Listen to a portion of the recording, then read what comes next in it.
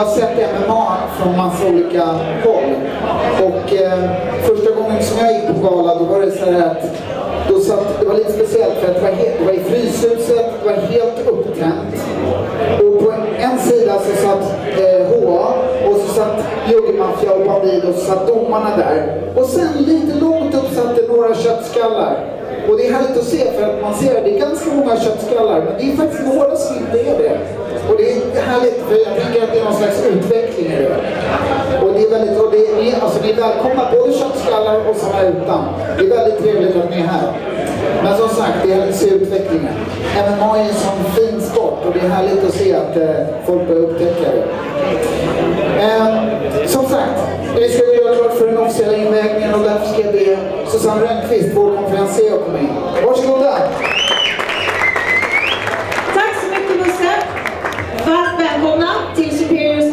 Invägning. Jag tycker vi drar igång på en gång. Vi har 24 gladiatorer som ska väga in.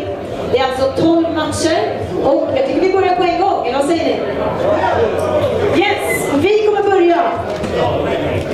Och så går det med papper. Vi kommer börja i viktklass 65,8 och den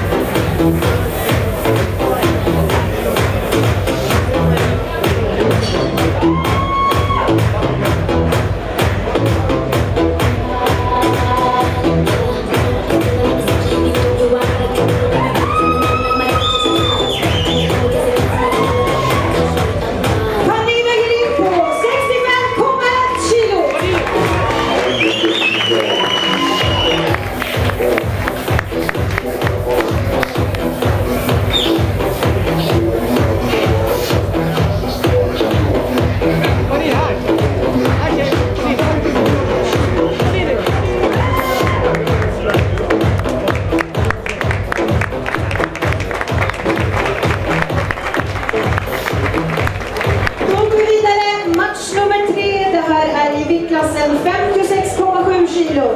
Först in har vi all the way from England, Mr Craig Derbyshire. Fire from